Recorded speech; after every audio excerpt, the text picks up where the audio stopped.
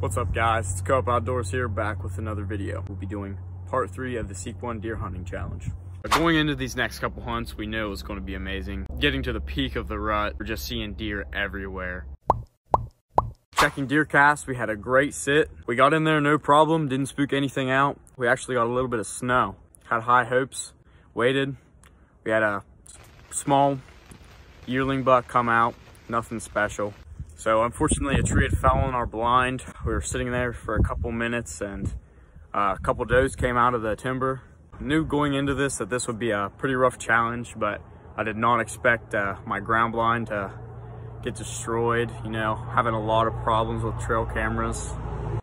And that'll wrap up the video, guys. Please leave a like, subscribe. Stay tuned for the next one.